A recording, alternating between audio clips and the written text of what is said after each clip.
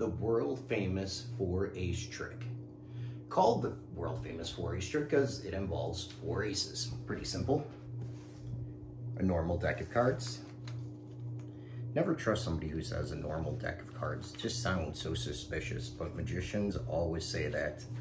So, who am I to fight the magic norm? You can see the four aces in separate, somewhat equal parts of the deck. In fact, we'll mix them all up just like that, and we'll give them a nice overhand shuffle, which everybody is pretty used to.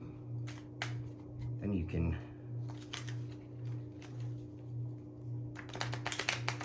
do a nice riffle shuffle. You can give them a couple quick cuts.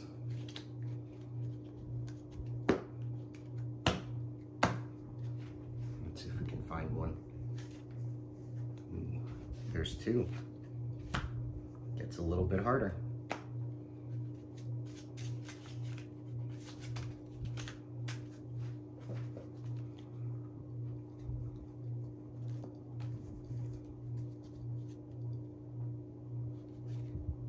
Oh, so close.